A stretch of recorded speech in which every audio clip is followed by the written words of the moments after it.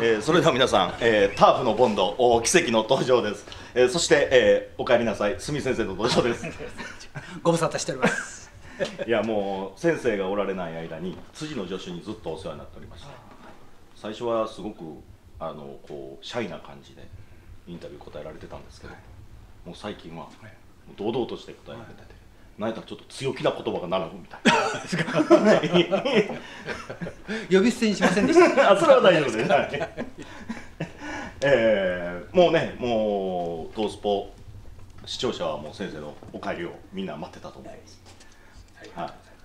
すいませんでした。えー、すいませんでした。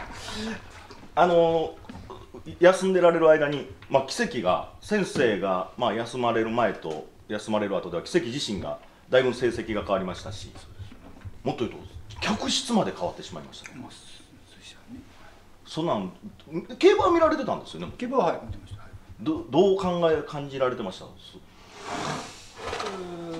まあまあね先行するに逃げるまあ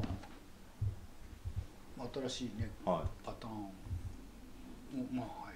だって毎日王冠の時はもう今休まれてましたから僕らとほぼ同じ感覚で多分競馬見られてるんやと思うんですけど作戦も何も立てられてないわけですから。だから「えいった!」ってもう僕らものすごい驚いたんですけど。あはい。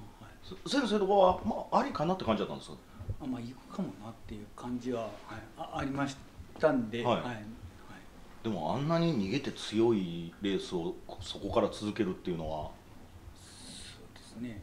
まあ目標にされますからね、うん。あのこう能力が高ければやっぱりねこうあの最初から最後まで速いのが一番絶対負けないところ そうですよね、うん、まあそういうこう資質はあったっていうことですしね、うん。うん。まあ本当にジャパンカップはまたすごい競馬になっちゃいましたからね。そうですよね。時計まあそれは勝ち馬がいますから勝ち馬の時計ですけどあの時計で引っ張っていってたわけですからね。人参じゃない 人参じゃない。炭だよ。ってそうそうそう俺の手がいい音しましたって。言ったらちょっとブワキッてそうそうそう癒されますか皆さん。とか痛い。痛い、えーいやもうでもすごいね本当。あのやっぱりこう G1 ホース小馬になってよりこうなんでしょうオーラというか風格出てきましたよね。そうですね。まあ本当に小判の顔になりましたし、うん。はい、あの本当にスイッチのオンオフってだんだん上手になってきてるのかなっていう気はしますよね、先行馬になったからといって調教方法が何か変わるとかということはないんですか？それはまあないですね。でもまああのこう周りがいないとオフっていう風なのがやっぱりいいいので結局先行してこうこすられるとやっぱその分前に行かなきゃいけないっていうのが、うん。まあ、先行馬っていうに逃げあー逃げ馬はいのパターンでしょうけどね、はい。だからいかにいないところではリラックスして走るかっていう、うん。まあ、だからその誰もいない時間帯の馬場コースを長めにゆっくり走れるかっていうのは、はい、スタッフは考えてやってくれてます。そうなんですねまあでも本当にまさかその菊花賞まではあれだけ力強い末足を見せてた馬がねこれだけスピードを生かしてまたこう G1 へというところですから先生個人的には追い込みが好きとか逃げが好きとかいうのはないんですか？ちょっえーまあ追い込みが好きですけどね。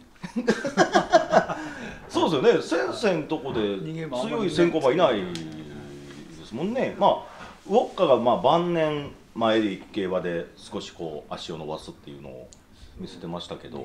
それでもやっぱり瞬発力勝負の馬でしたもんね。やっぱり極端な競馬になっていくっていうのは取りこぼしがやっぱどんどん増えていっちゃいますのでね、やっぱりこう強いこうどこでも勝つ馬に仕上げようっていう思いであればやっぱり自在性のある足をっていうことになれば、まあ、調教の段階であのこう馬込みの中でも我慢する、うん。はい、あの周りのペースにつられずにこう調教できていくっていうことが、まあ、あのスタッフを育てていく時にはね、あのいい勉強になるのでね、はい。もう今やね残りだって1年え半？もう,、まあまあ、ちょもうちょっと分かるか。1年2年弱ぐらいになりましたけど。あのすみません。これファンの方も気になってると思うんですけどアディショナルタイムはないんですか？いわゆる半年お休みになられたんでこうロスタイムが半年。それはないんですね。えーはいですね。あーはいはいはい。じゃあまあねもう完成しきったスタッフが、まあ、キセキの新たな能力を引き出して、えー今回 G1 へということですが阪神の 2000m ズバリどうでしょう？条件は。そうですね、まあ、競馬団ね、もうこう小判になって、競馬は覚えてきてますので、まあ、4, 4コーナーがどのあたりかっていうのをこう、まあまあ、感づき始めてきてるはい。感じはしますので、はい。まあ、自分から加速して追いつけないスパートをかけるような気がしますけど、すごいですね。4コーナーを馬が大体感づいてきたっていうことですか？そうですね、はい、ここから俺はラストスパートしたらいいんやっていう。じゃあこれはちょっとまあこの雰囲気はね自信持ってる感じしますもんね奇跡が何の自信か分かりませんけどね。4コーナー感づいてるよっていう。いやそう俺は人参上手に食べれるっていう自信になるかもしれない。えーぜひあのまたターフを沸かせる。まあやっぱり逃げっていうことになりますか？と思いますけどね。はい、期待しております、えー奇跡の住み調教師でした。ありがとうございました